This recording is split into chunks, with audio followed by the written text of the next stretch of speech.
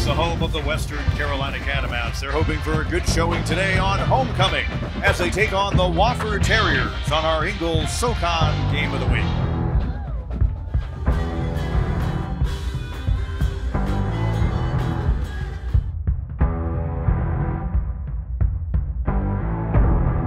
So, a couple of ball clubs that hope to make this a November to remember.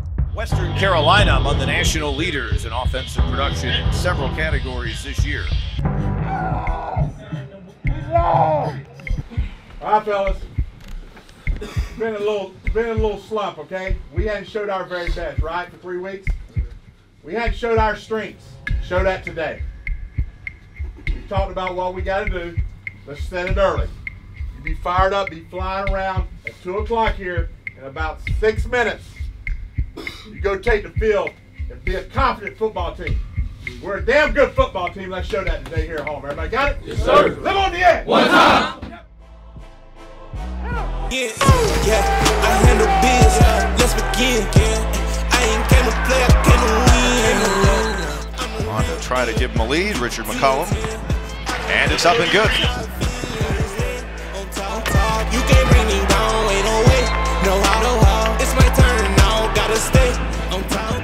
Firing near sideline. Lee with a catch. So Richard McCollum tries from a little further distance this time, but no trouble at all.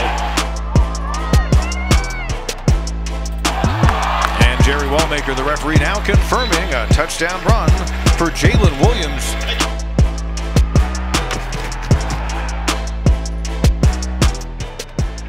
The fake to Reed, the fire for Lee, and a touchdown. Pressure comes and he's sacked. Micah Nelson with his third sack of the year. Davis, hesitation, now Oh, looking God. long, and there's Raphael Williams behind the defender. He'll take it in.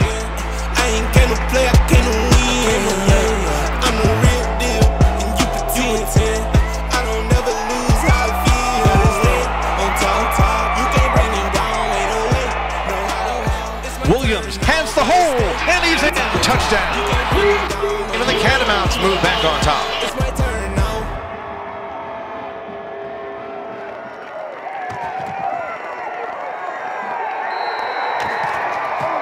That's going to do it. The Catamounts get the stop.